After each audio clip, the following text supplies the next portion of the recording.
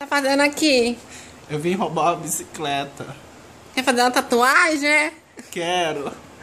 Na onde? Aqui na testa? Sim. Você quer escrever aí?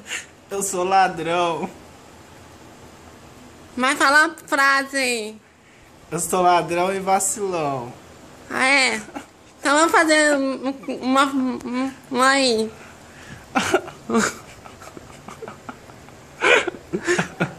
Nem rabisca, rabisca.